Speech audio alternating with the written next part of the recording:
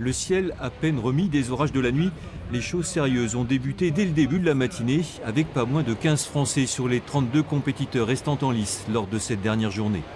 Grosse présence, effectivement, le Team France est bien là, bien préparé, la vague ils la connaissent par cœur. Euh, les conditions, le fait que ça grossisse un peu vont les avantager.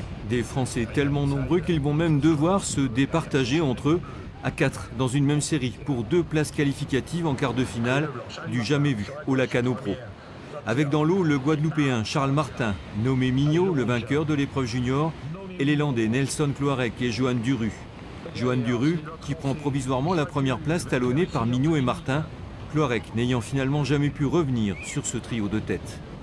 J'ai pas réussi à sortir mon épingle du jeu, c'était compliqué, je suis quand même content d'être arrivé jusque là, je suis, je suis, content de mon parcours, après c'est dommage, ça s'arrête comme ça.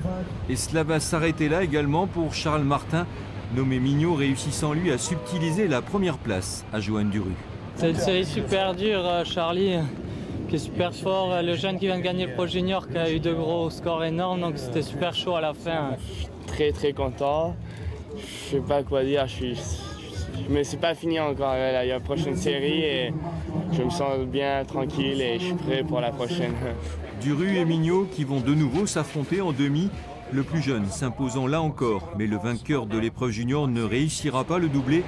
Il s'incline en finale face au réunionnais Maxime Husneau de 5 ans, son aîné, celui-ci inscrivant ainsi son nom au palmarès de la plus ancienne compétition française de surf professionnel.